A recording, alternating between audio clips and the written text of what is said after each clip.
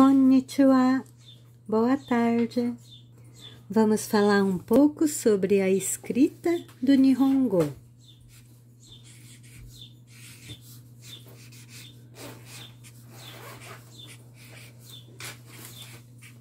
Romaji. Esse é um jeito de escrever Nihongo usando as mesmas letras que nós usamos no português, o alfabeto. É possível escrever Nihongo usando o alfabeto. Mas se você estudar Nihongo só usando Romaji, vai surgindo, vai começar a surgir um pouco de dificuldade. Por exemplo, se eu escrevo Ha, você vai ter que analisar o contexto, a frase onde ele aparece para saber se é Ra de árvore, folha de árvore, ou Ra de dente, tá? A folha de árvore, árvore é escrita desse jeito.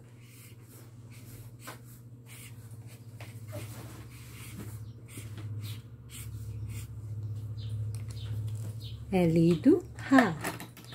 E o dente ele é escrito dessa maneira aqui.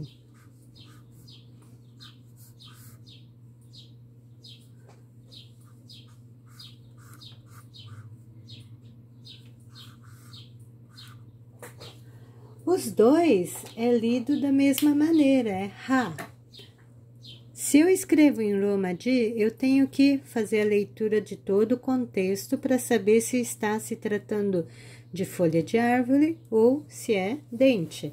Mas se eu escrevo em kanji, você já sabe distinguir o que é a folha da árvore e o que é o dente, tá? Então, se o correto, o mais fácil, se você quer estudar Nihongo para ter fluência no futuro, para estudar escrita, leitura, é melhor você estudar os outros tipos de letra que não seja o Romaji.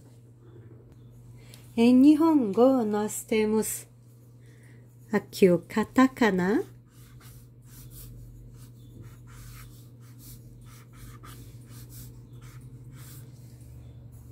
Katakana é utilizado para escrever palavras estrangeiras ou onomatopeias também.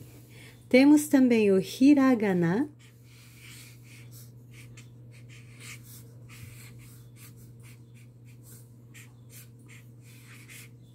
Hiragana. Esse é o mais comum de todos. E a, o outro tipo de letra é o kanji, esse é o mais complicado, mais difícil de estudar.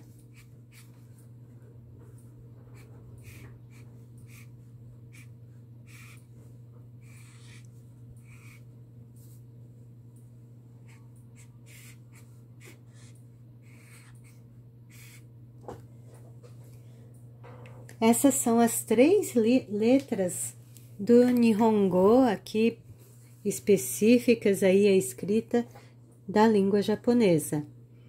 Katakana, hiragana, kanji. Para aprender Nihongo, você vai ter que aprender as três, essas três formas de escrita. Não é só katakana, só hiragana ou só kanji. Por quê? Porque nos textos eles costumam aparecer misturado, misturado assim, tem palavra que você tem que escrever em katakana, tem partes da sentença que você tem que escrever em hiragana e tem as palavras que você pode escrever em hiragana mas que é melhor escrever em kanji. Esses três tipos de letra têm a maneira correta de escrever. E o traçado das letras em Nihongo é muito importante, porque ele vai definir a forma que ele vai ficar o resultado final, se é a escrita mais bonita, você vai ter que respeitar o traçado, qual parte você escreve primeiro, qual parte você escreve em segundo, terceiro e assim por diante. Não é o resultado final ficando daquela forma, tá bom? Não, não pode. Você tem que respeitar a maneira correta, a sequência correta dos traçados, tanto no katakana, no hiragana e especialmente no kanji, você tem que respeitar a sequência correta do traçado da letra. Um exemplo de uma frase usando hiragana, katakana e kanji. Ba i ku de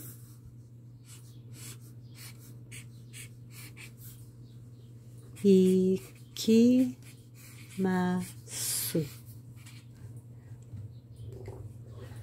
Baiku de ikimasu.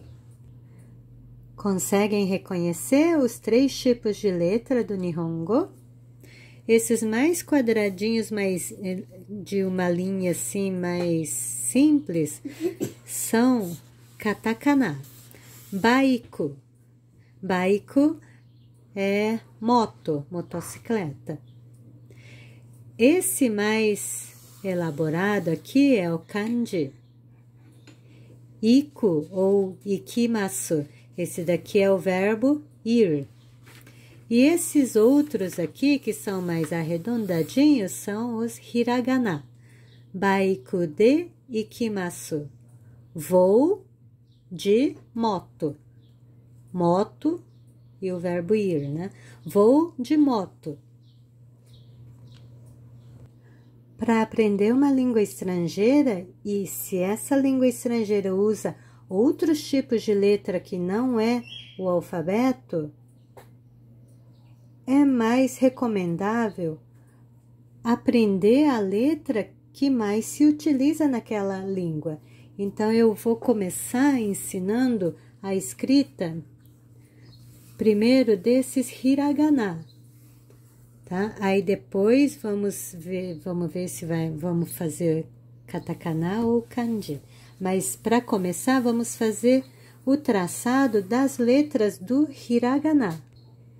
Em cada uma das videoaulas eu vou apresentar uma letra do hiragana e vocês vão ter que praticar o traçado daquela letra tá? E pratica o traçado pensando na sequência correta de como que tem que ser escrito, tá? Então, nós vamos começar aqui pelo tipo de letra chamado hiragana, hiragana.